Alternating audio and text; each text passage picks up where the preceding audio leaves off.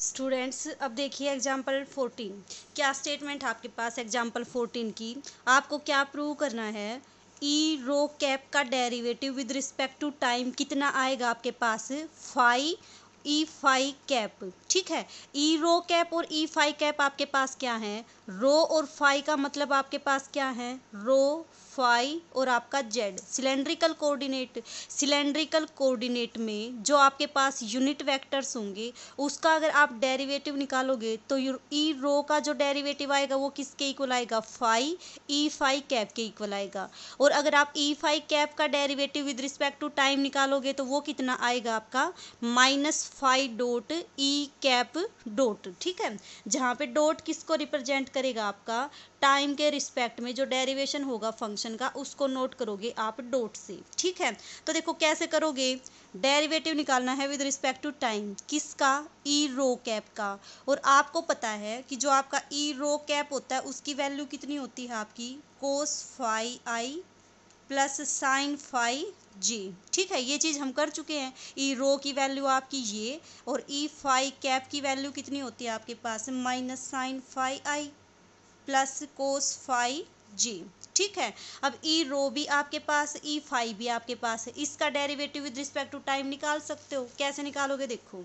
D by D T of E rho cap कितना आ जाएगा आपके पास? इसका derivative with respect to time तो कर दो इसका डेरिवेटिव देखो कितना आएगा।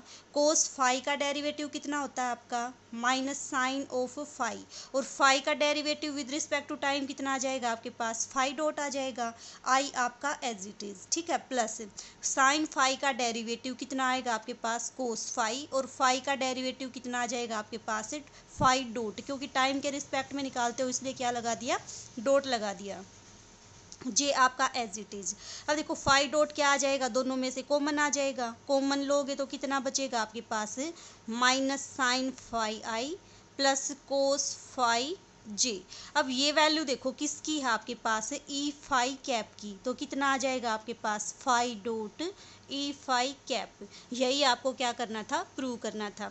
अब क्या करोगे? डेरिवेटिव निकालोगे ई फाई का with respect to time E phi की वैल्यू कितनी है आपके पास? ये, इसका डेरिवेटिव निकाल दो विद रिस्पेक्ट टू टाइम कितना आएगा आपके पास? D by D T of E phi cap this is equal to कर दो इसका डेरिवेटिव माइनस आपका as it is sine phi का डेरिवेटिव कितना आएगा? कोस फाइव और फाइव का derivative five dot I as it is cos five का derivative with respect to time निकालोगे, कितना आ जाएगा आपके पास? साइन फाइव आएगा और माइनस का आएगा। ठीक है? फाइव का डेरिवेटिव फाइव डॉट जे आपका as it is five dot भी कॉमन माइनस भी कॉमन कितना आ जाएगा आपके पास? माइनस फाइव डॉट कॉमन ले दिया। ये आपके पास बचेगा cos five I minus minus plus sine five J. और ये किसके इक्वल है आपके पास? ये आपका ई रो कैप के इक्वल है। तो ये आपका कितना आ गया? Minus E five dot E rho cap यही आपको क्या करना था? प्रूव करना था। ठीक है? अब देखो ई रो ई फाइव तो आपके पास ये होते हैं। ई e जेड कितना होता है आपके पास? ई e जेड कितना होता है आपका? यूनिट वेक्टर के अगर ई e जेड का derivative with respect to time निकालोगे तो कितना आ जाएगा आपके पास? यहाँ पे वन है। वन का मतलब कॉन्स्टेंट तो कितना आ जाएगा? ज़ीरो आ जाएगा। ई e जेड का derivative with respect to time तो ये था आपके पास एग्ज़ाम्पल फोर्टीन ठीक है? अब एग्ज़ाम्पल फिफ्टीन देखो। देखिए स्टूडेंट एग्ज़ाम्पल फिफ्टीन की क्या स्टेटमेंट है आपके पास? Express velocity V and acceleration A of particle in cylindrical coordinate कि आपको कोई एक पार्टिकल है, उसकी वेलोसिटी और एक्सेलरेशन को सिलेंड्रिकल कोऑर्डिनेट में एक्सप्रेस करना है, ठीक है? तो देखो, सबसे पहले तो आपको ये पता होना चाहिए कि वेलोसिटी और एक्सेलरेशन आपका होता क्या है।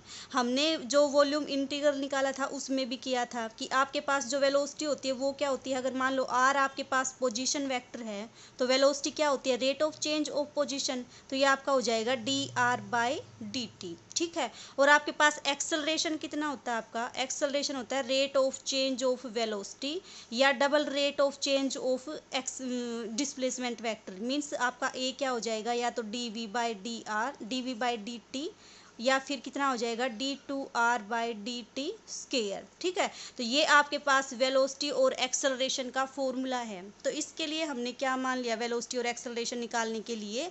कि आर आपके पास कोई पोजीशन वेक्टर है किसी पॉइंट पी का। आर अगर पोजीशन वेक्टर है तो आर कितना हो जाएगा आपके पास? X I plus Y J plus Z की। ठीक है? अब देखो, आपको जो एक्सप्रेशन चाहिए, वो किसमें चाहिए? सिलेंड्रिकल कोऑर्डिनेट में चाहिए।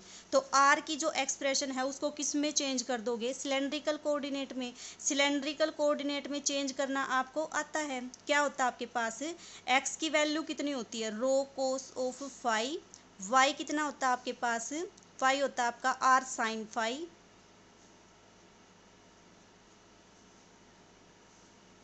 वाई क्या होता है आपका? रो साइन फाइव और जेड कितना होता है आपके पास? जेड ठीक है?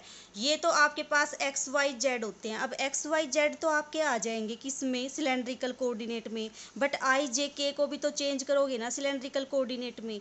इनको चेंज करने के लिए किसका यूज़ करोगे? जो सिलेंड्रिकल कोऑर्डिनेट में आपके पास यूनिट वैक्टर्स होते हैं, उनका यूज़ करोगे। और आपको पता है कि उनका रिलेशन क्या होता है आपके पास? आपका होता है ये ई रो फाई कितना होता है आपका? Cos of phi I plus sine of phi J. ठीक है? ई फाई कैप कितना होता है आपके पास? Minus sine phi I plus cos phi J.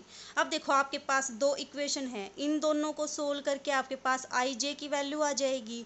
आई और जे की जो भी वैल्यू आएगी, वो इसमें पुट कर दोगी। अब के की वैल्यू के लिए किसका यूज़ करोगी? ई रो तो आपका ये होता है ई फाई आपका ये होता है और ई जेड कितना होता है आपके पास?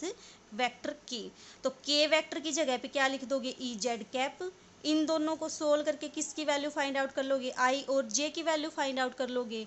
अब आई जे की वैल्यू भी आपके पास आ गई के की वैल्यू भी आपके पास आ गई एक्स वाई और जेड की वैल्यू आपके पास ये हैं। ये सारी वैल्यूज़ अगर आप इसमें पुट कर दोगे तो आपके पास आर की वैल्यू किसमें आ जाएगी? सिलेंड्रिकल कोऑर्डिनेट सिस्टम में आएगी। ठीक है?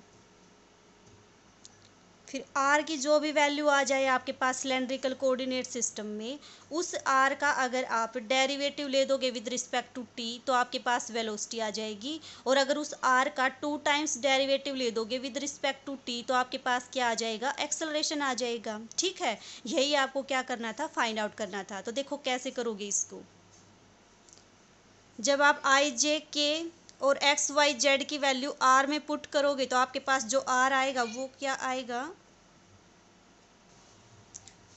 तो देखो आर की वैल्यू कितनी आ जाएगी? आपके पास ये आ जाएगी। अब आपको क्या फाइंड आउट करना है? वेलोसिटी तो वेलोसिटी क्या होती है? आपके पास D R by D T ठीक है? इसका डेरिवेटिव कर दो विद रिस्पेक्ट टू टी कितना आएगा आपके पास? देखो रो का derivative with respect to T कितना आएगा? D rho by D T E rho cap आपका as it is rho as it is D E rho cap और इसका derivative with respect to T अब यहाँ पे कितना आएगा आपके पास? D Z by D T और ई जेड कैप आपका एज इट इज़ जब आप ई जेड का derivative with respect to time निकालोगे तो देखो पीछे किया था फोर्टीन एग्ज़ाम्पल में, इसकी वैल्यू कितनी आ जाएगी? ज़ीरो तो ये आपके पास किसकी वैल्यू आ गई वी की वैल्यू आ गई अब पिछले इसमें एग्ज़ाम्पल में फोर्टीन में हमने किया था कि जो आपके पास ई रो का derivative with respect to time होता है, उसकी वैल्यू कितनी होती है आपके पास? Five dot E five cap, ठीक है? कर दो, इसकी वैल्यू पुट कितना आ जाएगा देखो। रो का derivative with respect to time क्या लिख सकते हो इसको? रो डोट और आपका E rho cap as it is rho आपका एज इट इज़ और इसकी वैल्यू क्या कर दी? फोर्टीन एग्ज़ाम्पल से ये पुट कर दी। प्लस जेड डॉट आपका as it is E Z cap आपका एज इट इज़ तो ये तो आपके पास आ गई वेलोसिटी अब अगर आपको क्या निकालना है? एक्सलरेशन तो एक्सलरेशन क्या आ जाएगा? इसका डबल डेरिवेटिव कर दो। वो आपके पास एक्सलरेशन की वैल्यू आ जाएगी। ठीक है?